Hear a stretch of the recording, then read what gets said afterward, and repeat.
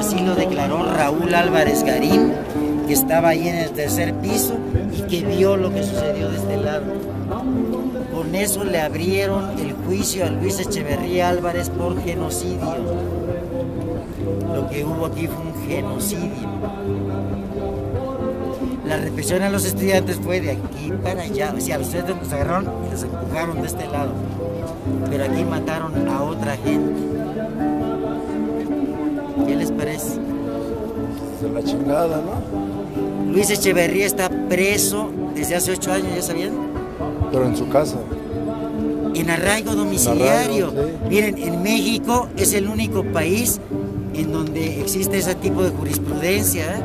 el arraigo, la figura del arraigo. Pero ¿sabes por qué están en arraigo? No él, muchos otros capos. Por- no están por comodidad. Están por seguridad. Porque si un capo de ese nivel llega a la cárcel, no dura 24 horas vivo. Por eso está en arraigo, por seguro. Él podía tener las mismas y más comodidades en la cárcel. Ese no es el problema. ¿eh? No, está por seguridad.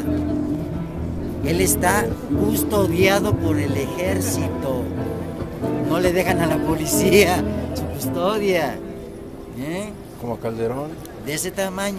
Fíjense la historia del genocidio, porque también el genocidio provocó una reacción.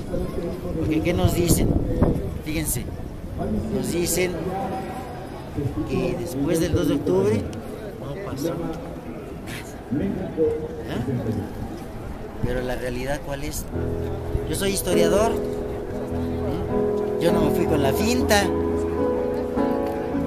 ¿Qué es lo que provocó Luis Echeverría Álvarez con el genocidio? Fíjense, con el genocidio, no con la represión de estudiantes.